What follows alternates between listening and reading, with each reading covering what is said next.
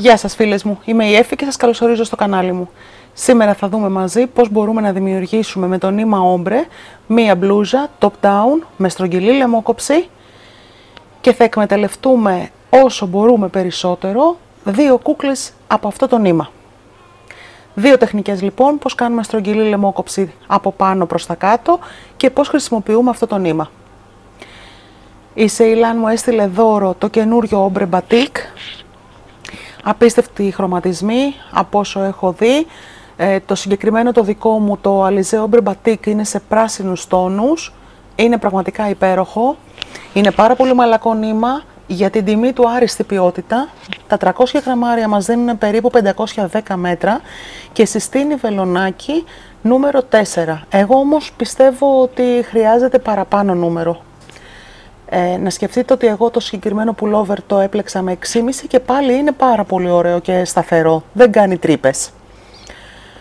Για να μας βγει λοιπόν ένα ρούχο με το νήμα όμπρε σωστό και να εκμεταλλευτούμε τους χρωματισμούς που δίνει, θα πρέπει να πλεχθεί συνεχόμενα.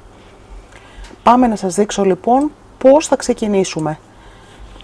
Για το pullover αυτό χρησιμοποιούμε δύο κούκλες νήμα Alize Ombre Batik, το βελονάκι, και έξι ποντοδείκτες.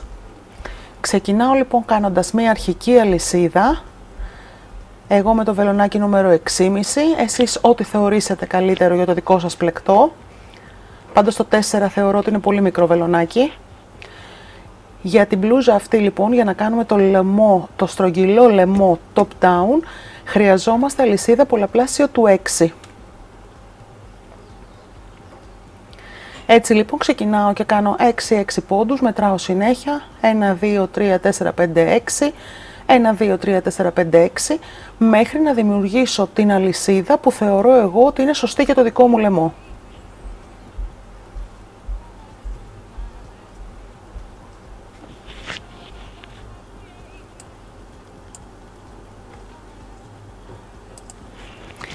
Εγώ έχω βάλει 60 πόντους στην αρχική μου αλυσίδα και αυτό εδώ θεωρούμε ότι είναι ο λαιμός μας. Αφού λοιπόν βάλει η κάθε μία με 6-6-6 πόντους το μέγεθος που την ικανοποιεί για, το δικό της, για τη δική της λαιμόκοψη, προσεκτικά χωρίς να στρίψει η αλυσίδα μας, πάμε και μπαίνουμε στον πρώτο μας πόντο και κλείνουμε με ένα βουβό. Έτσι δημιουργούμε την κυκλική πλέξη από εδώ και πέρα.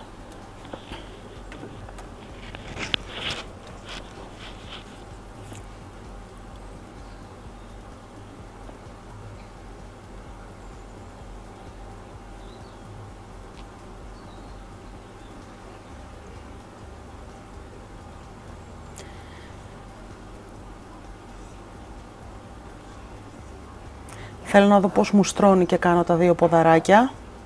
Απλά για να ενώσω το έκανα. Πάμε. Έχουμε μπροστά μας την αρχική μας αλυσίδα. Θα πρέπει οποιοδήποτε νούμερο και αν έχετε βάλει, οποιοδήποτε πολλαπλάσιο, να το διαιρέσετε δια 6. Εμένα έτυχε να είναι 60 η αρχική μου αλυσίδα, οπότε δια 6 είναι 10, ανά 10 πόντι θα διαιρέσετε την αρχική σας αλυσίδα δια 6. Το νούμερο που θα βγάλετε, κάθε τόσο, κάθε αυτό το νούμερο, θα βάζετε ένα ποντοδείκτη. Εγώ βάζω ανά 10 πόντους.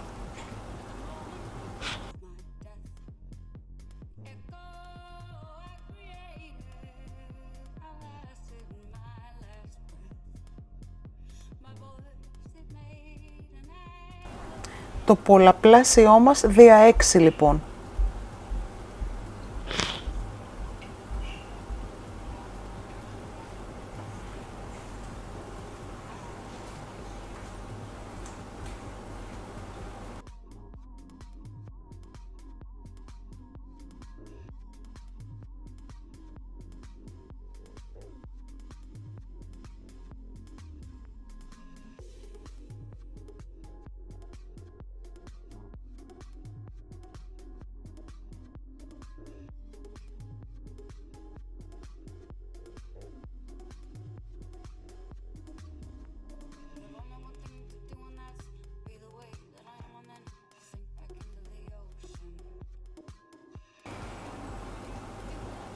Αφού λοιπόν διέρεσα την αρχική μου δια 6 και έχω βάλει τα σημάδια μου, πάμε να ξεκινήσουμε.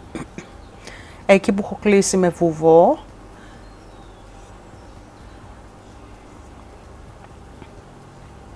κάνω μία λυσίδα στον αέρα και παίρνω νήμα για να μπω στον ίδιο πόντο και να κάνω το πρώτο μου ποδαράκι.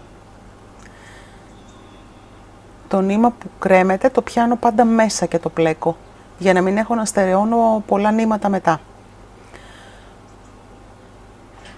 Συνεχίζουμε λοιπόν κάνοντας απλά ποδαράκια μέχρι το ποντοδείκτη μας.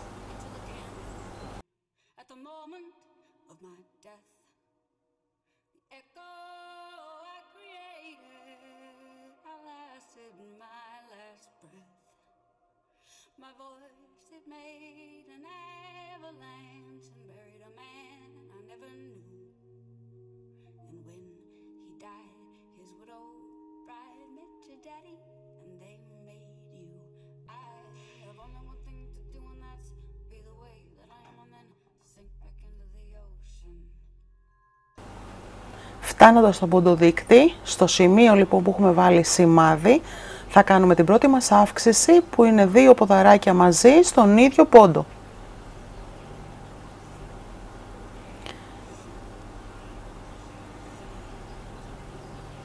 Η πρώτη μας αύξηση λοιπόν. Έξι σημάδια έχουμε, έξι τέτοιες αυξήσεις θα κάνουμε. Το ποντοδείκτη μας θα πρέπει να τον μεταφέρουμε στο δεύτερο ποδαράκι της αύξησης, εγώ βάζω άλλο τώρα για συντομία από το δείκτη. Απλά βγάλτε τον και βάλτε τον στο δεύτερο ποδαράκι από την αύξηση που κάνατε. Συνεχίζουμε με ποδαράκια μέχρι το επόμενο σημάδι μας. Το νήμα είναι πραγματικά πάρα πολύ όμορφο, είναι πολύ μαλακό. Πιστεύω ότι φαίνεται και στο βίντεο από τον τρόπο που γλιστράει στο βελονάκι μου και στρώνει όταν το πλέκω. Είναι ένα πολύ ωραίο νήμα.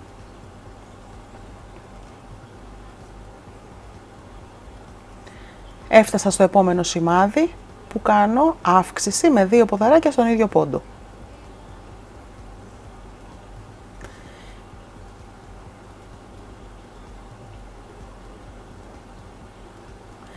Σε αυτό το δεύτερο ποδαράκι της αύξησής μου βάζω σημάδι.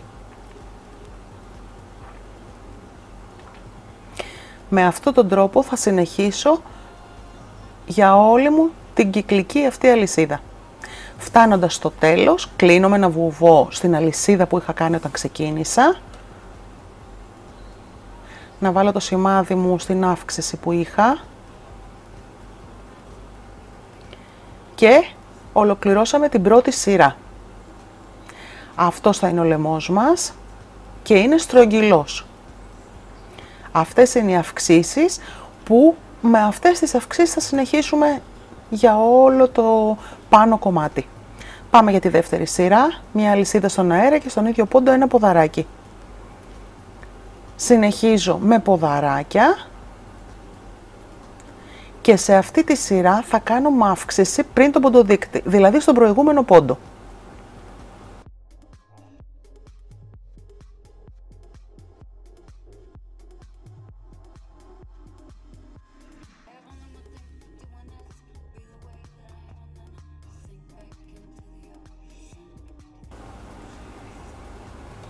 Συνεχίζω με απλά ποδαράκια.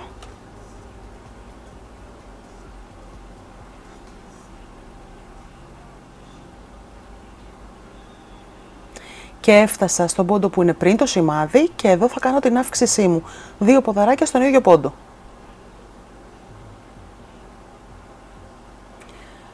Μεταφέρω το ποντοδείκτη μου στο δεύτερο ποδαράκι από την αύξηση που έκανα. Πάντα το σημάδι μας το βάζουμε στο δεύτερο ποδαράκι μας από την αύξηση. Συνεχίζω με απλά ποδαράκια μέχρι να φτάσω ένα πόντο πριν τον ποντοδείκτη.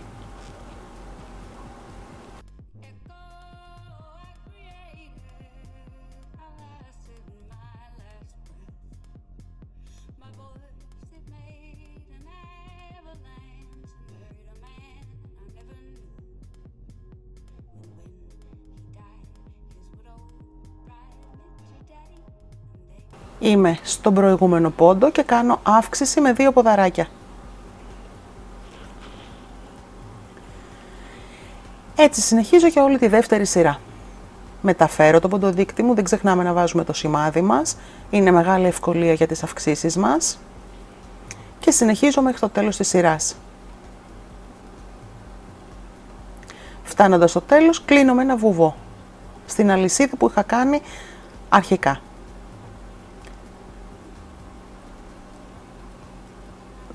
Ολοκληρώσαμε και τη δεύτερη σειρά. Πάμε να σας δείξω και την τρίτη που είναι και η τελευταία οδηγία που έχω να σας δώσω.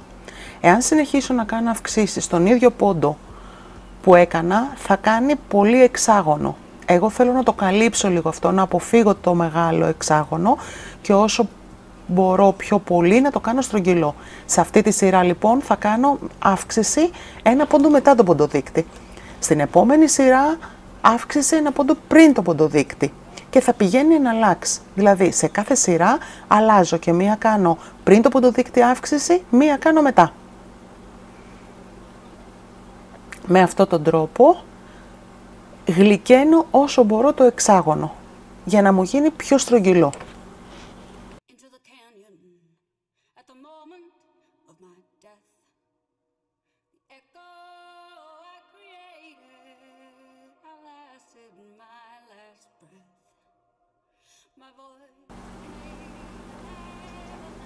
Έφτασα, είμαι ένα πριν, δεν κάνω αύξηση όπως πριν.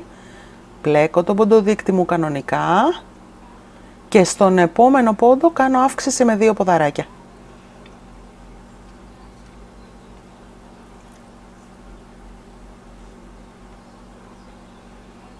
Βάζω το σημάδι μου στο δεύτερο ποδαράκι της αύξησης.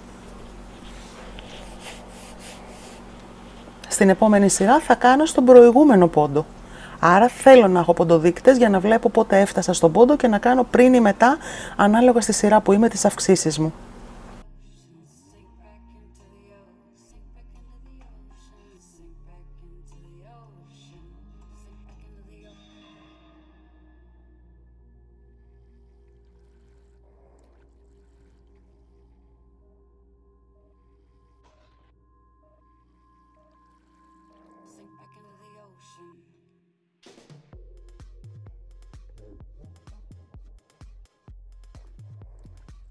Έφτασα στον ποντοδείκτη, τον μπλέκω κανονικά ποδαράκι και στον επόμενο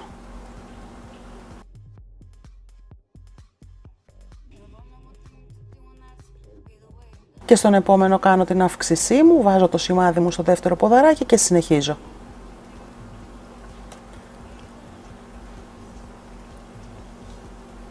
Ο λαιμός μας γίνεται όσο πιο πολύ μπορούμε στρογγυλός. Εναλλάσσοντας λοιπόν τις αυξήσεις, μία σειρά πριν, μία μετά, συνεχίζω μέχρι το ύψος που είναι οι μασχάλες. Έχω πλέξει ένα αρκετά μεγάλο κομμάτι. Αυτό είναι περίπου 26 εκατοστά γύρω γύρω, επειδή πλέκουμε στρογγυλά, 26 εκατοστά είναι παντού όπου και να τοποθετήσουμε τη μεζούρα μας και αυτό το κομμάτι με, μου αρκεί μέχρι τις μασχάλες.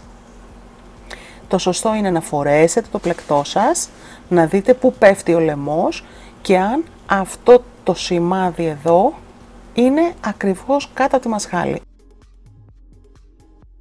Από το λαιμό μας μέχρι κάτω από τη μασχάλη. Αυτό κάνουμε λοιπόν, πλέκουμε με τις αυξήσεις αυτές μέχρι να φτάσει στο σημείο που θέλουμε. Μόλις φτάσετε στο σημείο αυτό που σας καλύπτει, βλέπετε ότι ακόμα έχω ποντοδείκτες και θα μου χρειαστούν κιόλας. Κόβουμε το νήμα και στερεώνουμε.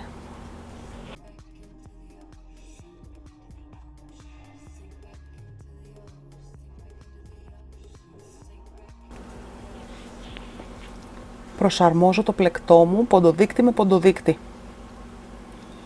ποντοδείκτη με ποντοδείκτη σε όλες τις πλευρές. Οι ακριανοί αυτοί που έχουν μικρότερη απόσταση είναι η μασχάλη μου, το μανίκι μου. Βάζω λοιπόν το βελονάκι μου σε αυτό το ποντοδείκτη, θα ενώσω από την αρχή το νήμα μου.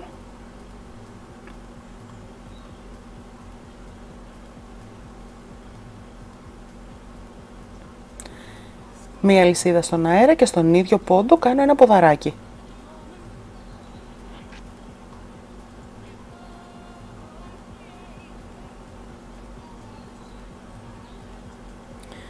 Έξι αλυσίδες στον αέρα. Ένα πολλαπλάσιο δηλαδή προσθέτω. Παίρνω νήμα, πάω και μπαίνω στον επόμενο ποντοδείκτη και κάνω ένα ποδαράκι. Με αυτόν τον τρόπο έχω δημιουργήσει το κενό για το χέρι μου. Το πολλαπλάσιο είναι κάτω τη μασχάλη για να μου δώσει έναν αέρα, να μην τραβάει το πλεκτό. Και συνεχίζω με απλά ποδαράκια. Πλέκοντας γύρω γύρω μέχρι να φτάσω όχι στον επόμενο ποντοδείκτη, στο μεθεπόμενο. Ο επόμενος είναι το κέντρο του μπροστινού μου ή της πλάτης.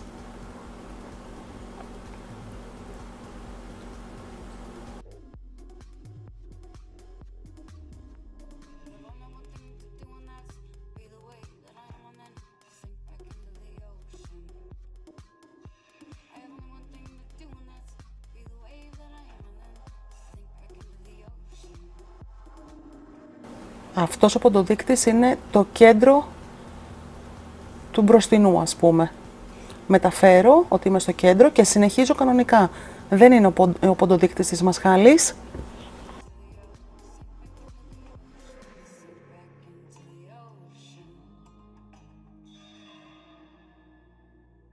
Έφτασα στο επόμενο σημάδι που πρέπει να κάνω τη μασχάλη μου. Το κενό για το μανίκι που είπαμε ότι ενώνουν έτσι.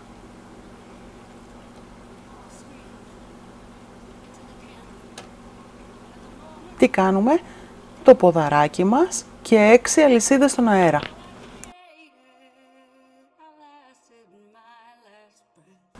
Παίρνουμε νήμα και πάμε και μπαίνουμε στον επόμενο ποντοδείκτη, στο επόμενο σημάδι που έχουμε βάλει και κάνουμε ποδαράκι. Και συνεχίζω με τα ποδαράκια μου. Μέχρι να φτάσω στο σημείο που ξεκίνησα τώρα.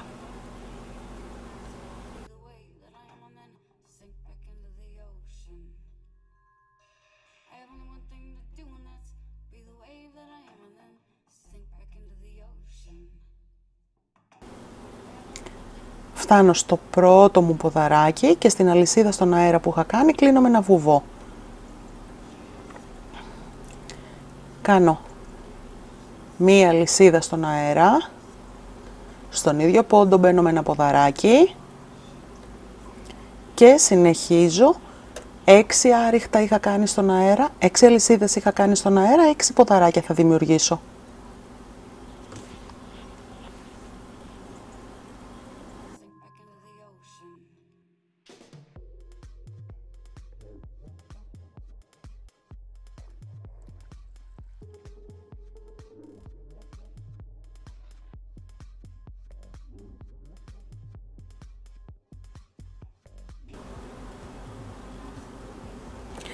Και συνεχίζω κανονικά με τα ποδαράκια μου.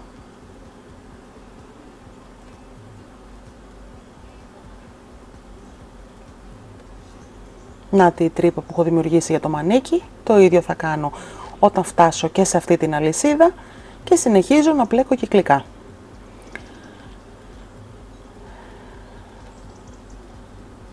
Αυτό που κάναμε είναι να χωρίσουμε το πρώτο κομμάτι και τώρα να ξεκινήσουμε να πλέκουμε τον κορμό μας.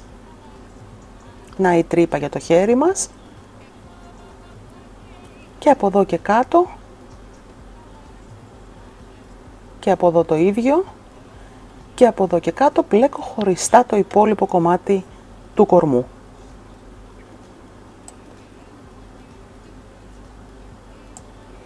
Βγάζω τους ποντοδείκτες, δεν μου χρειάζονται για να μην με μπερδεύουν. Κρατάω μόνο τον ποντοδείκτη που αφορά το κέντρο της πλάτης και του στέρνου, του μπροστινού.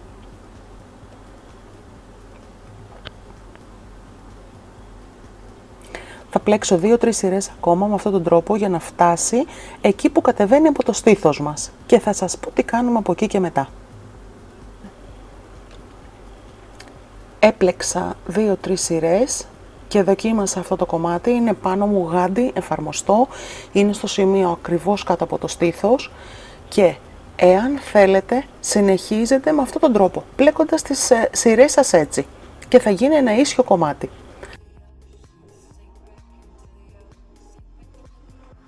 Αν έχετε κάτι σαν το δικό μου σωματότυπο που θέλω να καλύψω λίγη κυλίτσα, θα πλέξω το pullover μου σε γραμμή α. Πώς θα το κάνω αυτό; Βρίσκω τα κέντρα από τις μασχάλες μου για να βάλω και εκεί ένα σημάδι.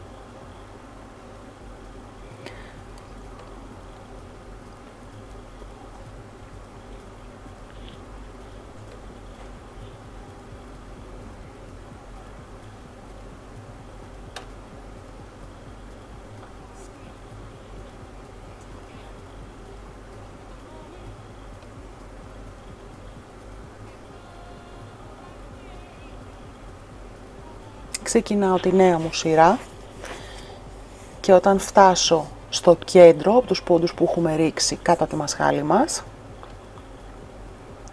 θα κάνουμε αύξηση.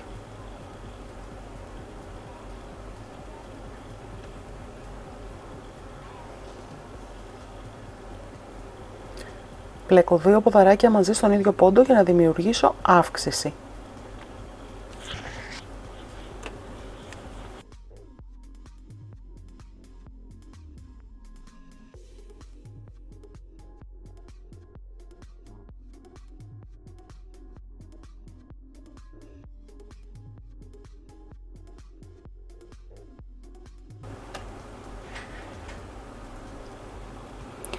Έφτασα στον κεντρικό πόντο του μπροστινού κομματιού μου και εκεί που είχα βάλει το σημάδι μου και το είχα αφήσει να υπάρχει στο κέντρο, κάνω πάλι αύξηση.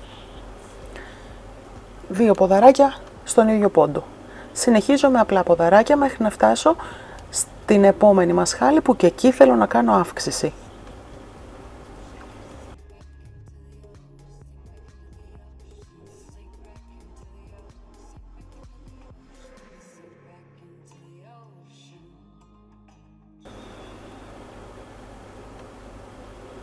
Το κέντρο της μασχάλης, μόλις φτάσω εκεί, δύο ποδαράκια στον ίδιο πόντο.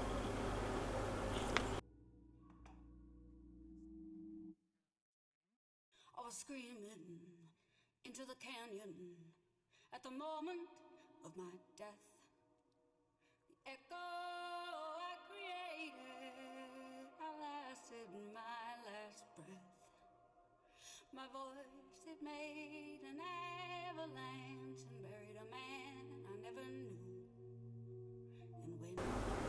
Συνεχίζω λοιπόν μέχρι το επόμενο σημάδι μου που θα κάνω αύξηση και κλείνω εκεί που ξεκίνησα κατά τη μασχάλη μου.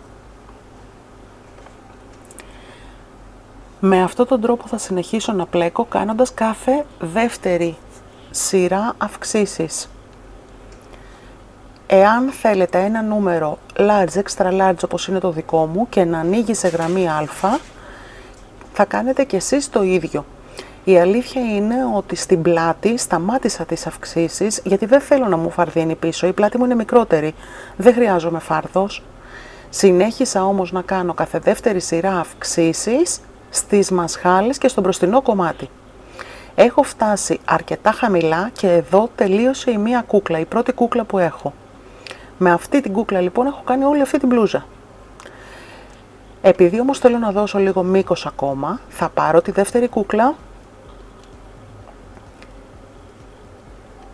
Είμαι πάρα πολύ ευχαριστημένη. Το πατρόν αυτό λειτουργεί για όλους τους σωματότυπους. Να επαναλάβω ότι αν μιλάμε για το μέγεθος large extra large, από το στήθος και κάτω Κάθε δεύτερη σειρά έκανα τρεις αυξήσεις στις μασχάλες και στο μπροστινό κομμάτι. Όχι πίσω. Πίσω δεν έχω κάνει.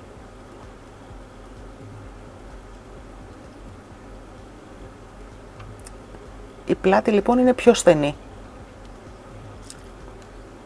Κάθε δεύτερη σειρά λοιπόν αύξηση Εάν πρόκειται για μεγαλύτερο νούμερο, ίσως να χρειαστεί σε κάθε σειρά αύξηση και αν πρόκειται για μικρότερο, εάν θέλετε να δώσετε μια έστω υποτυπώδη γραμμή α, κάντε κάθε τέσσερις σειρές μια αύξηση για να μην σας φαρδίνει πολύ.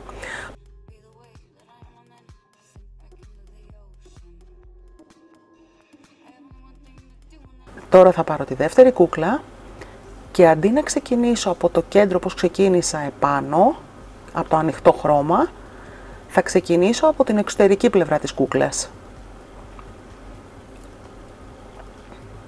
Τελείωσα με πράσινο σκούρο, ξανά ενώνω, ενώνω με πράσινο σκούρο.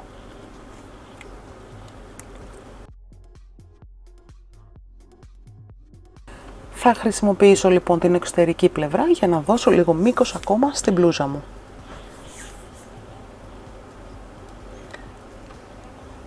Από την έξω πλευρά λοιπόν πλέκω τώρα για όσο μήκος θέλει κάθε μία από εμάς.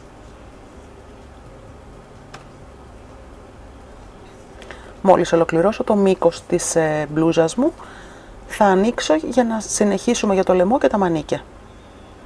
Το πιο δύσκολο ας πούμε σε εισαγωγικά σημείο. Ολοκλήρωσα το μήκος που ήθελα.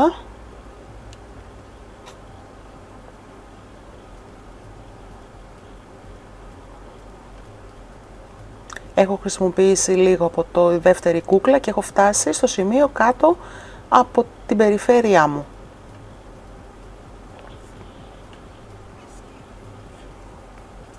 Στερεώνω το νήμα μου. Συνήθως κάθε φορά που κάποιο κομμάτι τελειώνω, ε, στερεώνω με βελόνα για να μην το έχω μετά όλο αυτό.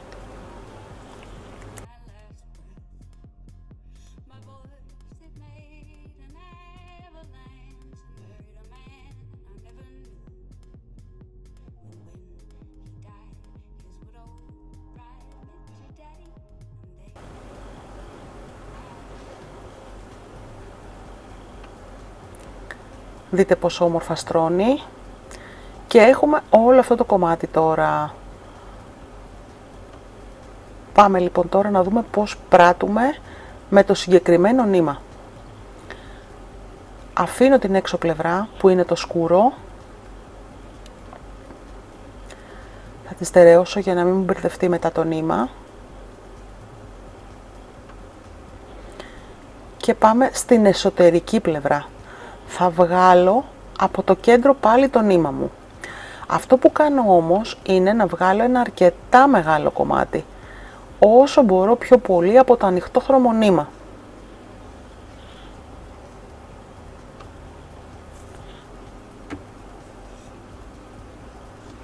Θέλω να φτάσω κοντά σε αυτή την απόχρωση, εκεί που έχω ξεκινήσει για το μανίκι. Αφού λοιπόν βγάλω το κομμάτι που θέλω, θα πιάσω το νήμα μου το ανοιχτό χρωμό από αυτό που, αυτό που έβγαλα μέσα από την κούκλα μου για να στρώσω λίγο και το λαιμό μου. Θέλω να τον δέσω λίγο, να γίνει πιο στρωτός και να μην ξεχυλώσει. Να σας πω ότι καλύτερα να έχετε μεγάλο λαιμό, πιο πολλούς πόντους στην αρχική αλυσίδα, οπότε μετά με μία-δύο σειρές να το μικρύνετε και να το μαζέψετε, παρά να γίνει πολύ στενός ο λαιμός. Πάω στην πίσω πλευρά του πλεκτού μου, ενώνω νήμα από το κέντρο της κούκλας που ήδη το έχω βγάλει.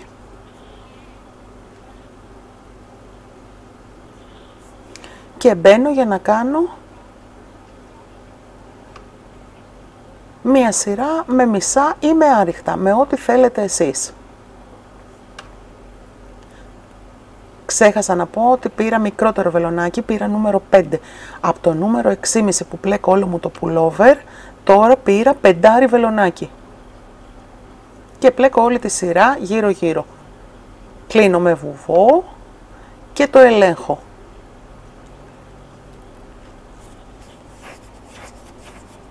Ήδη το έστρωσα αρκετά, έχει μαζέψει επάνω και για μένα είναι αρκετή μία σειρά είτε άριχτα είτε μισά ποδαράκια. Κόβουμε το νήμα μας και στερεώνουμε.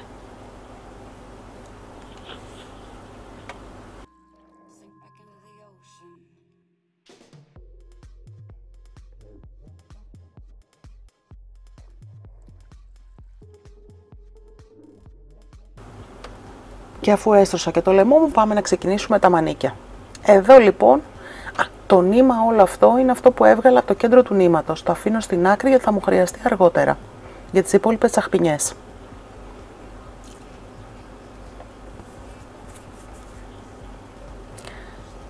Έχουμε λοιπόν τη μασχάλη από κάτω. Και έχουμε φτάσει όσο το δυνατόν πιο κοντά στο χρωματισμό που θεωρώ ότι ξεκινάει αυτό το σημείο. Από το κέντρο της κούκλας πάντα, ε, αφού έχω αφαιρέσει το ανοιχτό χρωμονήμα. Ενώνω το νήμα μου με το βελονάκι πάλι νούμερο 6,5, γυρνάμε στο κανονικό μας μέγεθος και ξεκινάμε και πλέκουμε ποδαράκια περιμετρικά του κενού που έχουμε αφήσει για το χέρι μας. Εγώ ψάχνω να βρω την ουρίτσα τώρα, να την μπλέξω μέσα.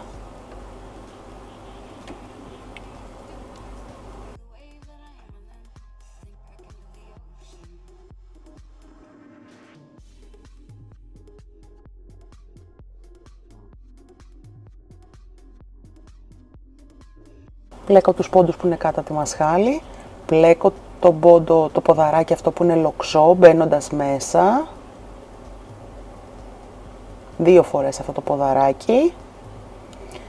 Και συνεχίζω κανονικά στην κορυφή από τα ποδαράκια που έχω.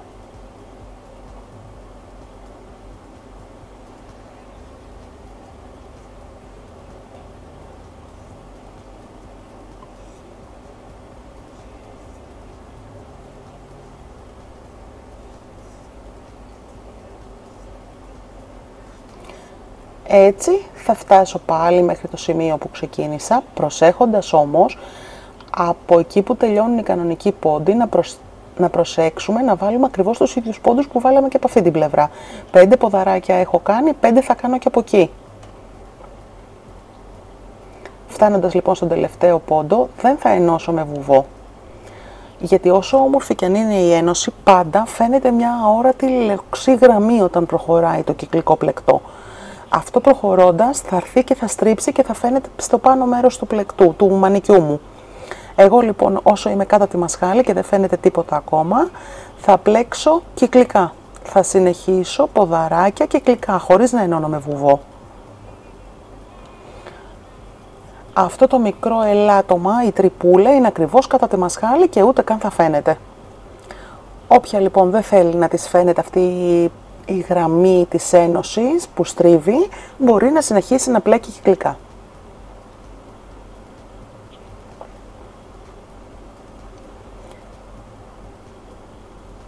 Όταν τελειώσουμε το μανίκι μας, απλά πλέκουμε μετά το ποδαράκι, μισό ποδαράκι, άριχτο βουβό και κλείνουμε. Σβήνει πάρα πολύ όμορφα.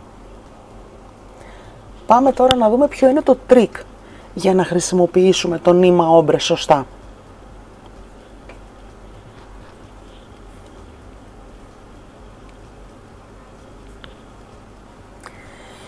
Για να καταφέρουμε λοιπόν να κάνουμε και το μανίκι μας όμπρε, βλέπετε ότι υπάρχει μια μικρή διαφορά, ίσως να έπρεπε να ξεκινήσω πιο μετά στο νήμα μου, δεν πειράζει, θα το φτιάξω. Έχουμε μία κούκλα. Εάν θέλαμε να κάνουμε όμπρε το κάθε μανίκι χωριστά, θα έπρεπε να έχουμε δύο κούκλες τέτοιας νήμα, να κάνουμε ό,τι έκανα εγώ που βγάζουμε το χρώμα από μέσα και να παίρνουμε το ανάλογο χρώμα. Επειδή όμως αν είχα τρεις κούκλες θα ήταν κρίμα γιατί θα πήγαιναν χαμένες, δεν θα μου χρησιμεύε σε κάτι όλο αυτό το νήμα, θα βολευτώ με την δεύτερη κούκλα που έχω, με δύο κούκλες δηλαδή σύνολο, και τι θα κάνω, θα πλέκω δύο-τρεις σειρές από το ένα μανίκι, θα κόβω το νήμα μου, θα πηγαίνω στο επόμενο. Πλέκω δύο με τρεις σειρές, κόβω το νήμα μου, γυρνάω στο άλλο μανίκι. Για να είμαι σίγουρη ότι τα μανίκια μου θα βγουν όσο γίνεται με τους ίδιους χρωματισμούς της μπλούζας. Εάν ξεκινήσω τώρα και πλέκω όλο μου το μανίκι, θα φτάσω στο σκούρο χρώμα και το άλλο μανίκι μετά θα πρέπει να πλεκτεί με το σκούρο χρώμα. Θα είναι ένα χρώμα όλο το μανίκι και θα είναι διαφορετικό. Γι' αυτό λοιπόν το μόνο που μπορούμε να κάνουμε είναι να πλέκουμε 2 με 3 σειρές από τη μία πλευρά, 2 με 3 σειρές από την άλλη. Κόβω το νήμα μου, γυρνάω πίσω στο προηγούμενο μανίκι. Μέχρι να ολοκληρώσω και τα δύο μανίκια μου φοράμε το ρούχο πάνω μας που πέφτει, από εκεί και κάτω ξεκινάμε και πλέκουμε τα μανίκια μέχρι το μήκος που θέλουμε. Έχω κάνει δύο σειρές στο πρώτο μανίκι, κόβω αρκετά το νήμα μου, τραβάω τη θηλιά μου να μην ξυλωθεί, δύο σειρές από εδώ, πάμε να κάνω δύο σειρές από την άλλη. Προφανώς έχω μετρήσει πόσους πόντους, πόσα ποδαράκια έκανα στο ένα μανίκι για να κάνω τα ίδια και στο άλλο, ε. Ενώνω λοιπόν τώρα το νήμα μου και ξεκινάω και κάνω ό,τι έκανα στο προηγούμενο μανίκι.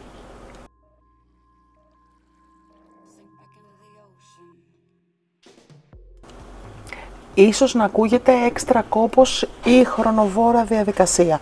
Δεν είναι τίποτα ιδιαίτερο, αξίζει τον κόπο γιατί εκμεταλλευόμαστε στο έπακρο τις δυνατότητες του νήματος όμπρε, χωρίς να χρειάζεται να αγοράσουμε και άλλη κούκλα που θα πάει χαμένη.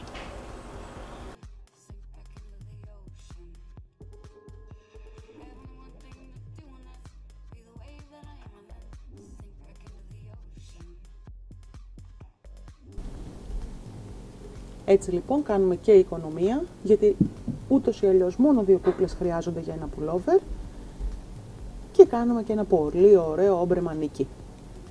Έκανα τις δύο σειρές που είχα κάνει από την άλλη, κόβω το νήμα μου, αφήνω μια μεγάλη θηλιά και επιστρέφω στο πρώτο μανίκι.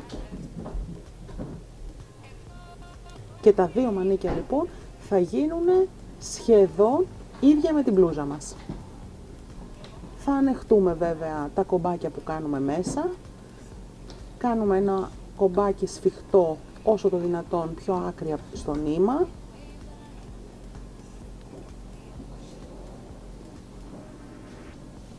Το σφίγγω καλά, κόβω αυτό που περισσεύει και συνεχίζω για να πλέξω 2-3 σιρούλες πάλι από αυτό το μανίκι.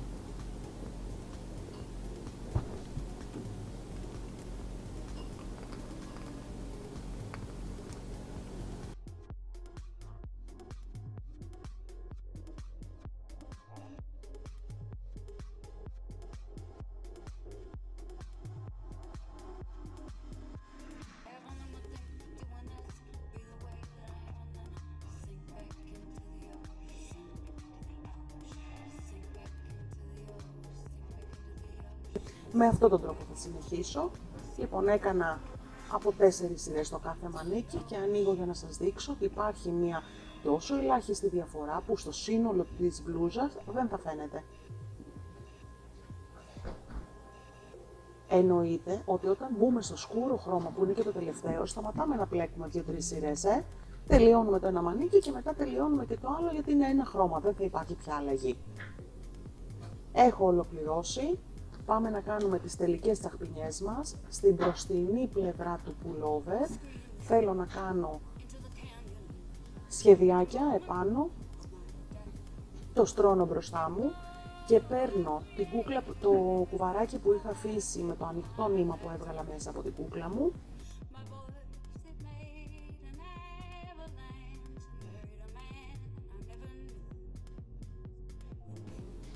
Κάνω μία θηλιά και με την τεχνική της ε, κοτσίδας που μπλέκουμε πάνω στα ρούχα θα ξεκινήσω και θα κάνω βελονιές σε, σε αφηρημένο σχέδιο. Εγώ προσωπικά το πάω όπως με βολεύει εκείνη την ώρα, εντελώς ελεύθερα, στρίβω το πλεκτό μου. Μπορείτε να κάνετε όμως ό,τι θέλετε, υπάρχουν άπειρα τέτοια σχέδια, από λουλούδι μέχρι ό,τι μπορείτε να φανταστείτε.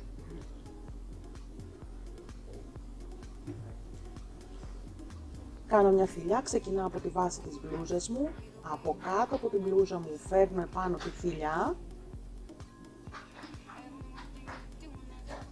στρίβω το πλεκτό μου έτσι ώστε να με βολεύει κάθε φορά από την κατεύθυνση που θα πάω, περνάμε το χέρι μας μέσα από το πλεκτό μας, από την κάτω πλευρά για να μπορούμε να κρατάμε το νήμα μας.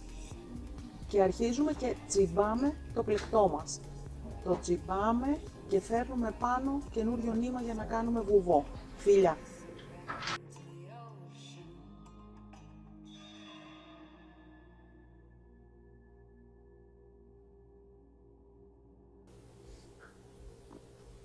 Αφηρημένο σχέδιο λοιπόν θα κάνω, όπως βλέπετε και στη φωτογραφία.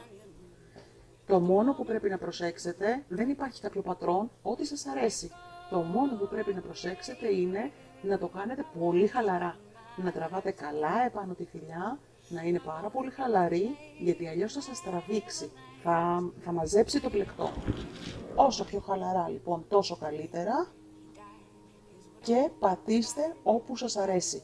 Στρίψτε το πλεκτό σας, περιστρέψτε το, αλλάξτε κατεύθυνση και κάντε αφηρημένες βελονιές. Όταν στρίψει εντελώς δεν είναι εύκολο να περάσει η θηλιά, γι' αυτό τι κάνω, αλλάζω θέση το πλεκτό μου. Θα το στρίψω και θα βάλω το χέρι μου από την κάτω πλευρά τώρα. Με αυτόν τον τρόπο θα συνεχίσω. Ό,τι θέλετε λοιπόν, κάτε το με αυτή τη βελονιά και με αυτόν τον τρόπο. Το μόνο που πρέπει να προσέχετε είναι να είναι χαλαρά για να μην σας τραβήξει.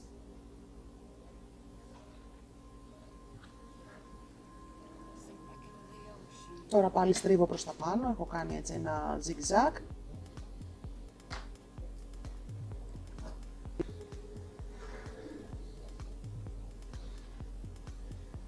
Όπως με πάει λοιπόν, θα πάω το σχέδιό μου.